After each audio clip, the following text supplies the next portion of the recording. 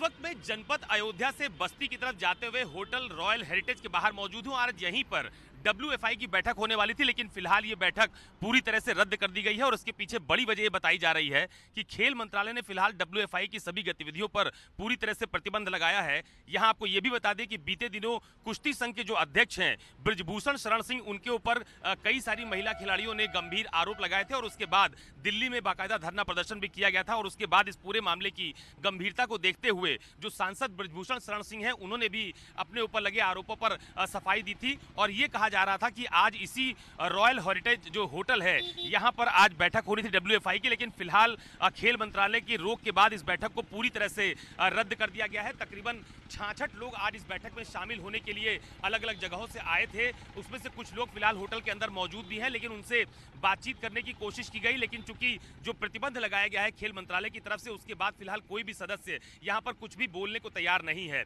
इस मामले की गंभीरता को देखते हुए ये भी कहा जा रहा है कि आज जो ये बैठक होने वाली थी कुश्ती संघ की, उसमें ब्रजभूषण शरण सिंह को भी शामिल होना था, लेकिन उनके प्रतिनिधि की तरफ़ से ये जानकारी दी गई कि फ़िलहाल ये बैठक पूरी तरह से रद्द की गई है और अब फ़िलहाल सांसद ब्रजभूषण शरण सिंह, जो कि कुश्ती संघ के अध्यक्ष भी है, वो भी इस बैठक में शामिल नहीं होने वाले थे। तो फ़िलहाल खेल मंत्रालय की रोक के बाद इस बैठक को पूरी तरह से रद्द कर दिया है और आपको ये भी याद होगा कि बीते दिनों जब जो सचिव हैं कुश्ती संघ के विनोद तोमर, उनके ऊपर भी कार्रवाई करते हुए उनको निलंबित किया गया था। तो फ़िलहाल ये होटल के बाहर की तस्वीर में आपको दिखा रहा हूँ कि फ़िलहाल यहाँ पर आवाजाही पूरी तरह से प्रतिबंधित रखी गई है। किसी को भी फ़िलहाल अंदर जाने की अनुमति नहीं दी जा रही है। मीडिया को भी पूरी तरह से यहाँ पर बैन किया गया है। तो कुल मिलाकर आज कुश्ती संघ से जुड़ी हुई बड़ी खबर है कि फ़िलहाल जो बैठक होने वाली थी, इसी रॉयल हेरिटेज होटल में, उसको फ़िलहाल पूरी तरह से रद्द कर दिया गया है और अब डब्ल्यूएफआई की पूरी गतिविधि पर फ़िलहाल प्रतिबंध रहेगा। जब तक की जो जाँच टीम गठित करने की बात